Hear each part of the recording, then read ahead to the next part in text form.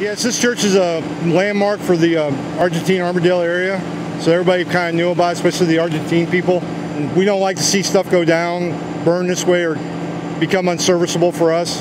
So it's it's going to affect the community for this having a blemish on the community for it being gone, because this is a major road that they travel by and they'll see it every day. Uh, we were called out today about 5:15ish uh, for a general alarm response, which is uh, quite a few rigs for an abandoned for a church on fire. The station that's right relatively closest knows the church, knows it well, and they knew it was abandoned.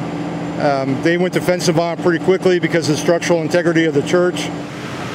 Uh, this time we have no civilian or firefighter injuries or anything like that. We, one of our truck companies did perform a rescue on the building behind me and um, removed the family. Not sure if there was any issues with them as far as mobility, but we did perform a rescue and get those guys, them, they're safe. Uh, no smoke inhalation, no burns or anything like that from them.